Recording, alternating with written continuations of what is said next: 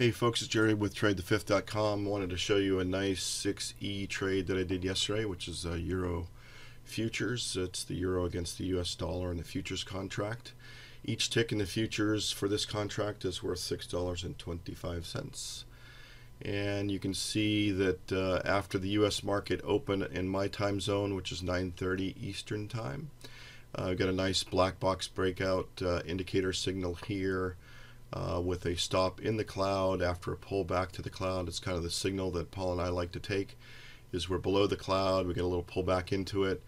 Um, you know, the, the cloud is starting to downtrend, so you feel like the trend is going down and the euro has been downtrending uh, a little bit after a break of a consolidation area, so it was a nice place to take a trade. I'll show you a little bit of how I managed it, but I uh, got in three contracts here let it run for a while. It um, you know did push down. We hit the 100% uh, target, which is this uh, orange line here, then the 160%, and almost to the 200% times risk. But I let the trade ride for a while since we had broken a consolidation area that I'll show in the market profile here in a minute. But let the trade ride for a while. Got a consolidation into the cloud. Got another signal here. Um, I was in the trade, of course, so I wasn't really paying attention to the signals, but this one stopped out, pulled into the cloud, got another signal. This one could have also been a nice one to ride down uh, that entered at 114155 uh, and it never came back and touched the stop and we had you know within just a very short time 20 minutes or so uh, could have pulled off a 200% times risk but as I managed this trade I started you know when we hit these pullbacks and then pulled away I started moving the stops you know down following the cloud a little bit as this trade really started pushing down and we got accelerated price action to the downside. And as this started uh, happening, I started wondering, you know, where might I want to think about taking profits for a day trade? And I'll show you the idea that I had in market profile that ended up working out. And I'll show you, um, you know, here's this consolidation price zone from the 27th. The dates here are one date off, right? So the uh, the contract opens on the 5th. This is the day of the trade that I'm showing you. The contract opens on the 5th and closes on the 6th. So the market profile shows up on the date that the uh, that particular day opened, uh, not the day it closed. So that's if there's any confusion on the dates in this market profile, that's what's going on there.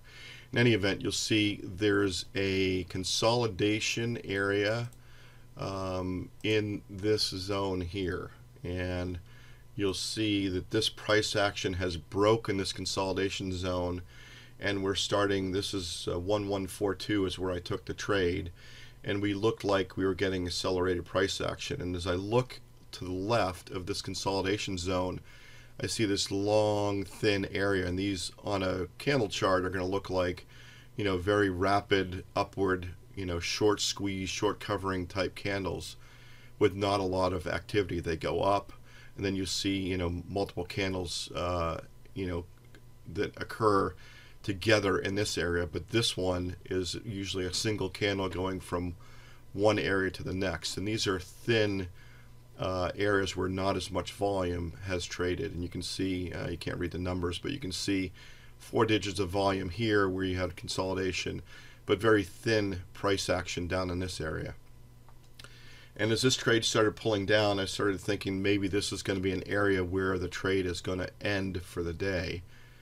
And it's an you know it was right before it's where these single areas are in the volume uh, market profile, and then you see there's some consolidation or much more fair price activity going on here.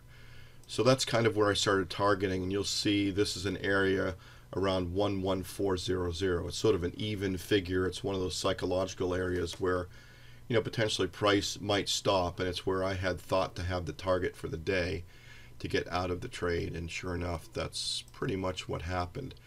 If you, if I advance the uh, trading over a little bit here, uh, you can see this was my entry at 1142. Uh, see the price there where I took the short. Uh, we ended up coming down, we pushed down, and now I'm starting to you know there's some consolidation in this area and I'm, and I'm starting to move my stop down above some of these um, candles that came back I'm tightening the stop And here I start coming into this uh, price area of 114, and sure enough, you know, I can see, obviously this is today's price action. I can't show you exactly what the depth of market or the DOM looks like.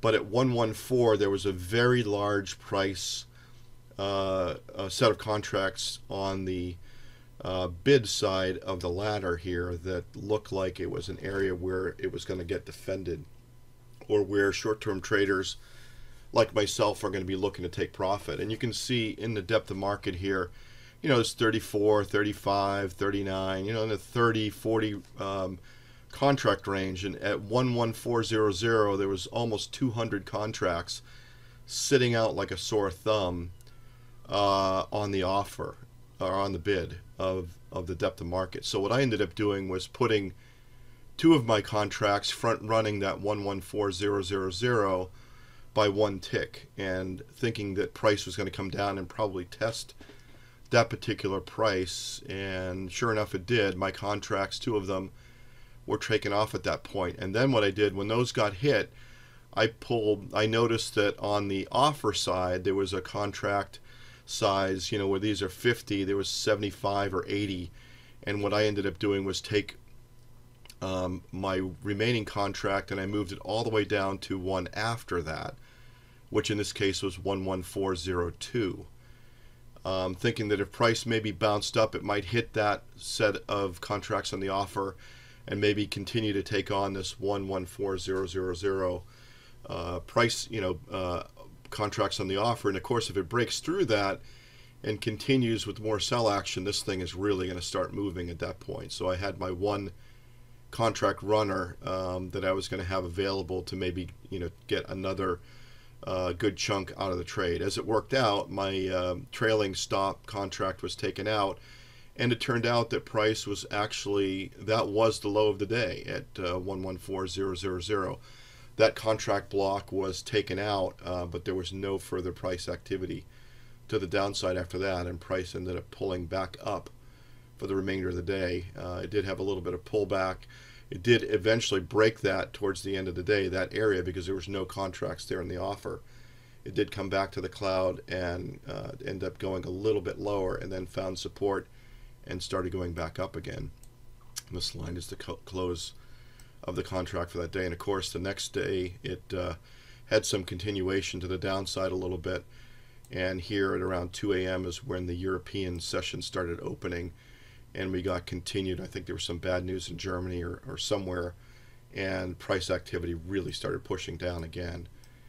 And you can see in the market profile today's price action uh, over here on the far right hand side my hand back.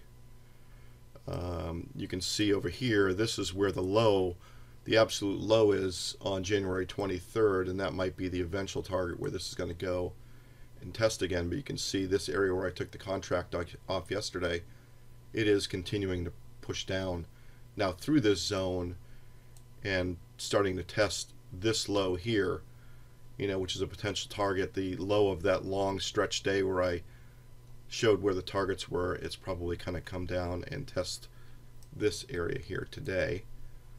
And there may be a, you know, if there's a pullback, there might be another potential short in the 6E. Nonetheless, that's the trade that I took. I wanted to share with you yesterday on a nice black box breakout indicator trade. Hope that helps. Take care, guys, and have a good trading day today.